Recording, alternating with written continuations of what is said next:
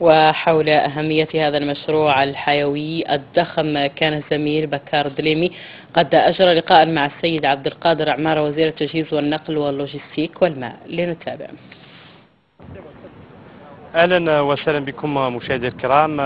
يحضر معي السيد عبد القادر عمارة وزير التجهيز والنقل واللوجستيك والماء. سيد الوزير أهلا وسهلا بكم. مرحبا أهلا وسهلا. نعم يندرج هذا المشروع ضمن مشاريع نموذج التنموي للاقاليم الجنوبية. ما هي أهمية هذا المشروع بالنسبة لتنمية إقليم اوسرت آه، اولا آه، شكرا. هذا بطبيعة الحال آه، حلقة من الحلقات ديال النموذج التنموي للاقاليم ديال الجنوب. هذه إلا بغينا نقولوا حلقة إنتاجية بطبيعة الحال لأنه هذا ميناء ديال الصيد مرتبط بأنشطة ديال الصيد اللي هي أنشطة اقتصادية اللي الأقاليم الجنوب معروفة بها. وبطبيعة الحال غيعطي إمكانية ماشي غير الأنشطة الصيد العادية ولكن كذلك في المستقبل التثمين ديال المنتوج ديال الصيد. وهذا غيكون عنده آثار آه اجتماعية لأنه غيسمح بطبيعة الحال العاملين بالاستقرار غيسمح للساكنه بمزيد من الاستقرار وغادي تكون خدمات ديال القرب اللي غادي تكون حول هذه آه الأنشطة. فهو حلقة مهمة جدا.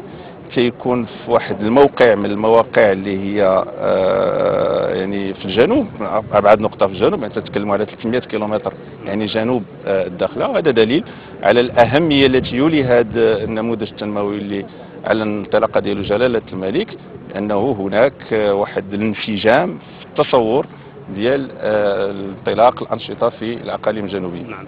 على ذكر موقع آه، ميناء المهريز آه، الذي يبعد عن مدينة الداخلة ب 300 كيلومتر موقع استراتيجي بالقرب من إفريقيا جزر الكناري، كيف لهذا الموقع أن يخدم هذا هكذا نوع من الموانئ؟ آه إلى لاحظتي هذا هذا المشروع كما المشاريع الأخرى لأنه كاين الميناء ديال الدخله الأطلسي وهناك مشاريع أخرى كلها تجي في واحد المحور يعني في واحد آه، آه، المحور لوجيستي اللي تينطلق من الشمال ديال المغرب إلى جنوب المغرب اللي غيمتد بطبيعة الحال لغرب إفريقيا. آه وأنتم تتعرفوا بأنه المغرب الآن يعني يكون عضو إن شاء الله في المنظمة ديال الدول ديال غرب إفريقيا. هذا كله بطبيعة الحال تندرج في واحد التصور شامل أن الأقاليم الجنوب أن تلعب دور مهم في هذا آه بين الجنوب نعم إفريقيا وما بين المغرب. وبطبيعه الحال تكون حلقة وصل لكن حلقة وصل يعني فاعلة. نعم. ماشي حلقة وصل فقط غير للمرور ممكن تكون فيها أنشطة من الأنشطة اللي غادي تكون مدره للدخل واللي غيكون عندها بطبيعة الحال آثار كبيرة على الأنشطة الاقتصادية بشكل عام. هذا الميناء شارف على الانتهاء يعني بعد آه، أشهر قليلة سينتهي. آه، ماذا عن الميناء الأطلسي؟ هذا الميناء إن شاء الله ديال المهيريز آه، أنتم لاحظتوا النقاش اللي كان عندنا في الورش لأنه كان نقاش مهم مع مختلف الفاعلين إن شاء الله غيسالي قبل نهاية 2018 وغتبدا فيه بطبيعه الحال واحد المجموعه ديال الانشطه اللي غادي تتعلق بالبنيات التحتيه ديال التامين. الميناء ديال الدخله الاطلسي هو من الموانئ الكبرى في المملكه المغربيه. حنا تنتكلموا على استثمار اللي غيتجاوز 8 المليار ديال الدرهم واستثمار كبير جدا. الواحد الميناء اللي غتكون فيه أنشطة ديال الصيد البحري كذلك أنشطة آه، آه، تجارية. هذا باعتباره يعني مشروع ضخم ومهيكل. الآن إحنا في الدراسات التفصيلية وهي دراسات معقدة جدا بالنظر لطبيعة المنطقة. إن شاء الله آه، يعني في أواسط السنة المقبلة غادي ننتهيوا من الدراسات التفصيلية وسنطلق طلبة العروض للمراقبة وللورش. وبعد ذلك الراجح بإذن الله أنه غتنطلق الأشغال في بداية 2019 نعم. آه خليني نقول بأنه هذا مشروع مهيكل غيكون عنده واحد الأثر كبير جدا على مدينة الداخلة. وأنا أقول دائما أن الداخلة الآن تسير بثبات إلى أن تكون إن شاء الله من العواصم الإفريقية المهمة.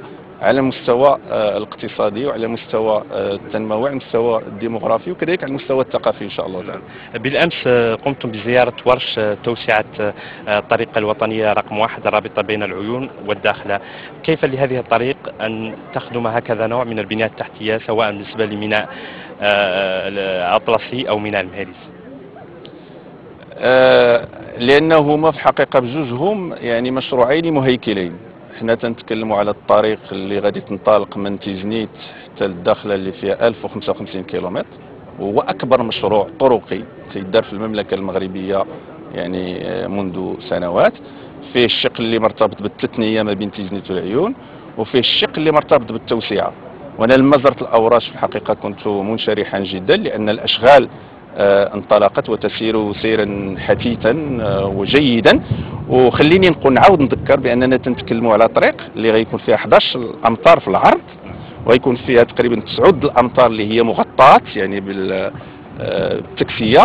وهذه غادي تعطي بطبيعه الحال غادي تكون عندها أثر على الجولان ديال المركبات خاصة أنها الطريق تتعرف بطبيعة الحال جولان ديال الشاحنات الكبيرة اللي تنطلق من شمال المملكة من وسط المملكة إلى غرب إفريقيا إلى نواكشوط إلى دكار إلى باماكو إلى واحد العدد ديال الدول فأكيد غيكون عندها واحد الأثر كبير على الرفع من مستوى طبيعة الحال الجولان وهذا غينعكس ايجابا على المنطقة ولكن غينعكس ايجابا كذلك على الاقتصاد الوطني بشكل عام.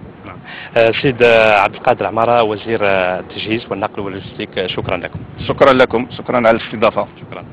آه هذا كان لقاء مع سيد وزير التجهيز والنقل واللوجستيك والماء شكرا لكم.